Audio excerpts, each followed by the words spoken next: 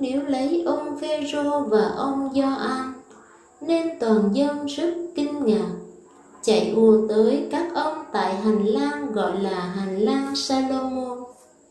Thấy vậy, ông Phêrô lên tiếng nói với dân: Thưa đồng bào Israel, sao lại ngạc nhiên về điều đó?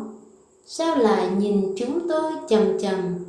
Như thể chúng tôi đã làm cho người này đi lại được.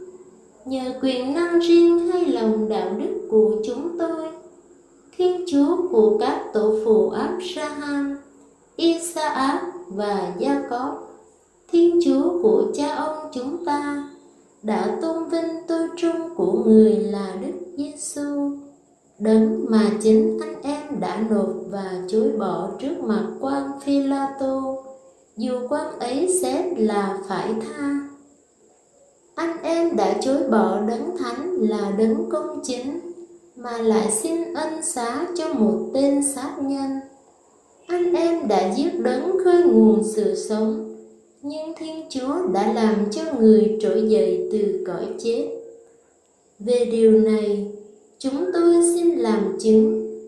Chính nhờ lòng tin vào danh người mà danh người làm cho kẻ anh em nhìn và biết đây trở nên cứng cáp chính lòng tin người đã ban cho anh này được khỏi hẳn như thế, ngay trước mắt tất cả anh em thưa anh em, giờ đây tôi biết anh em đã hành động vì không hiểu biết, cũng như các thủ lãnh của anh em nhưng như vậy là Thiên Chúa đã thực hiện những điều người dùng miệng tất cả các ngôn sứ mà báo trước. Đó là đấng khi của người phải chịu khổ hình. Vậy anh em hãy sám hối và trở lại cùng Thiên Chúa để người xóa bỏ mọi tội lỗi cho anh em. Như vậy, thời kỳ an lạc mà Đức Chúa ban cho anh em sẽ đến khi người sai đấng Kitô người đã dành cho anh em là Đức Giêsu. Đức Giêsu còn phải được giữ lại trên trừ cho đến thời phục hồi vạn vật, thời mà Thiên Chúa đã dùng miệng các vị thánh ngôn sứ của người mà loan báo từ ngàn xưa. Thật vậy, ông Môsê đã nói, từ giữa đồng bào của anh em Đức Chúa là Thiên Chúa của anh em sẽ trỗi dậy một ngôn sứ như tôi để giúp anh em. Tất cả những gì vị ấy nói với anh em, anh em hãy nghe.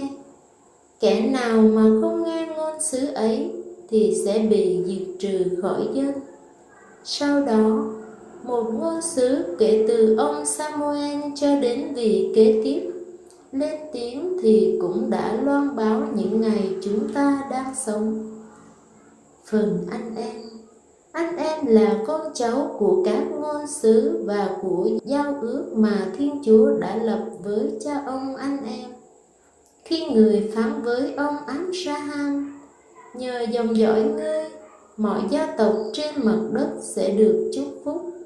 Thiên Chúa đã cho tôi trung của người trỗi dậy để giúp anh em trước tiên và sai đi chúc phúc cho anh em bằng cách làm cho mỗi người trong anh em lìa bỏ những tội ác của mình. Đó là lời Chúa. ta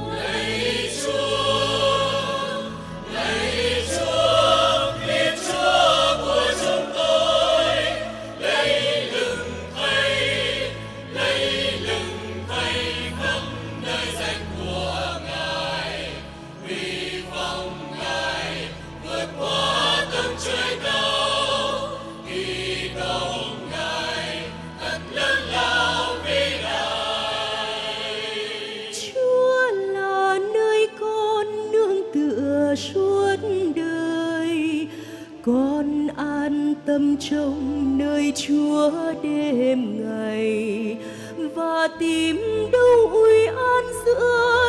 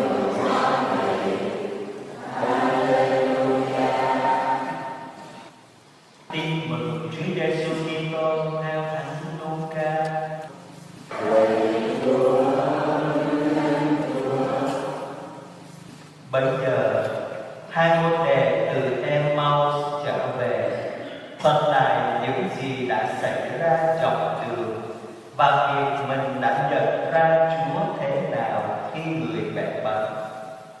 Các ông còn đang nói, thì chính Đức Giêsu đứng giữa các ông và bảo, bình an cho anh em các ông kinh hồn bạc biến tưởng là thánh ma.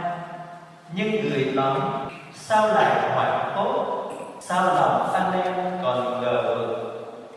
Nhìn chân tay thầy coi, chính thầy đây mà cứ rờ xem, ma không có xương có thịt, nhưng anh em thấy thầy có đây nói xong, người đưa tay chân ra cho các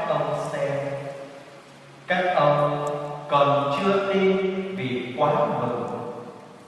Và còn đang ngờ ngẹt ngỡ ngàng, thì người hỏi, ở đây anh em có cái gì ăn không?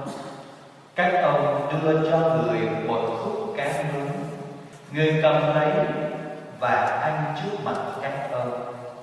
Rồi người bạn khi còn ở với anh em Thầy đã từng nói với anh em rằng tất cả những gì sách luật Môsê, các sách ngôn sứ và các thánh vịnh đã chép về thầy đều phải được ứng nghiệm. Bấy giờ người mở trí cho các ông hiểu kinh thánh và người nói có lời kinh thánh chép rằng đứng Kitô phải chịu rồi ngày thứ ba từ cõi chết sống lại.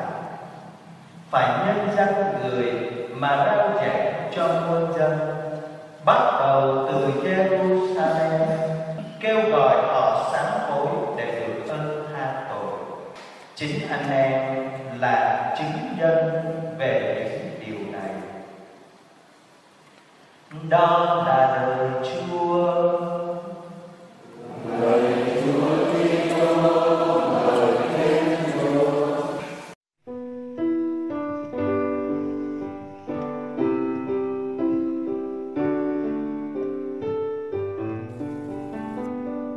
lạy Chúa Giêsu vì Chúa muốn con kết hợp cùng Chúa trong bí tích thánh thể nên con rất ước ao được Chúa ngự vào lòng con.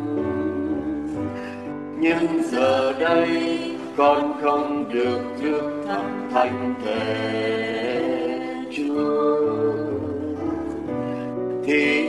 lừa là xin Chúa ngự vào lòng con cách thiêng liêng. Lạy Chúa, xin Chúa đến ngôi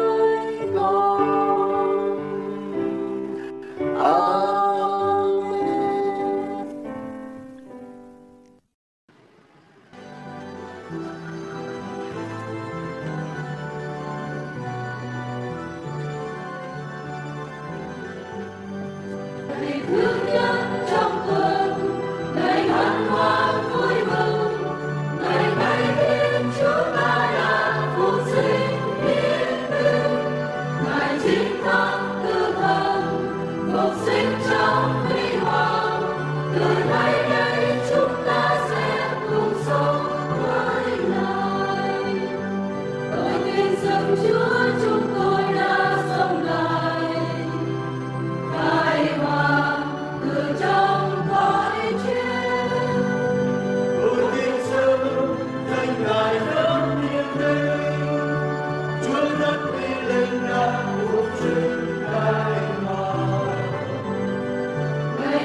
Oh.